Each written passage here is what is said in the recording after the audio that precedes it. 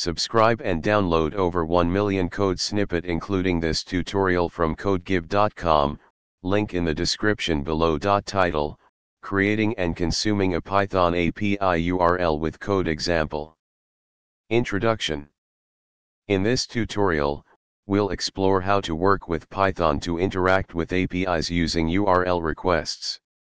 APIs, Application Programming Interfaces, are a crucial component in modern software development, enabling communication between different systems. We'll use the requests library, a popular HTTP library for Python, to make API requests and handle responses.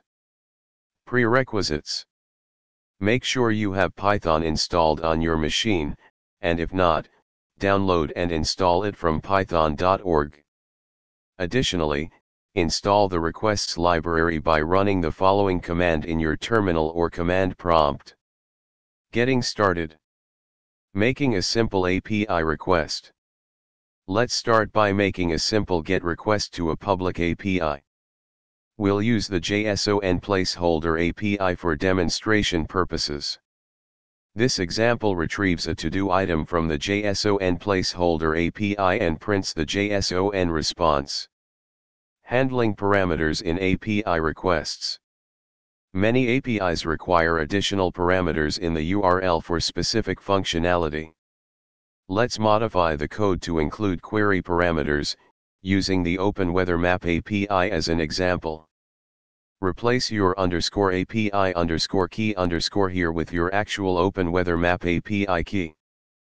Conclusion this tutorial covered the basics of making API requests in Python using the requests library.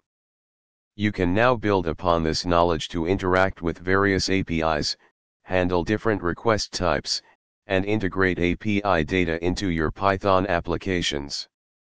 Remember to refer to the documentation of the specific API you're working with for detailed information on available endpoints and parameters. ChatGPT